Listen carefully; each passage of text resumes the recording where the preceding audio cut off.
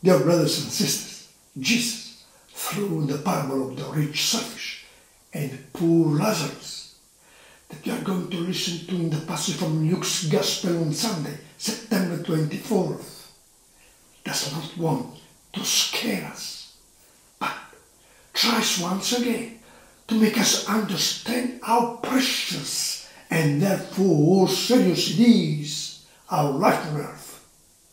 At the same time, it's clearly shown how dangerous it is to fall into the diabolical temptation to think of being able to make fun of God. In fact, already from this life, but above all in the hereafter, everyone will reap what he has sown. Who in this world is sowing in selfishness will reap sadness, isolation, and eternal failure. Sows in love will reap life, peace, and eternal joy. Dear brothers and sisters, it's over now.